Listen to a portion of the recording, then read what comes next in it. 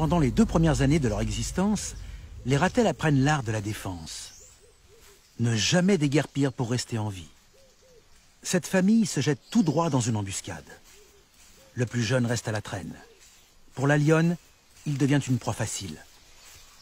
D'instinct, il met en pratique son apprentissage. Ce comportement est caractéristique, l'attaque à reculons. La stratégie d'un David face à un Goliath.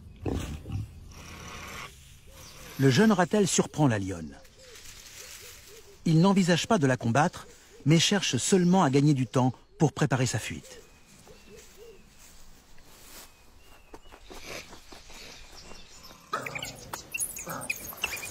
Lorsqu'il croise une meute de lycaons, la plupart des animaux détalent.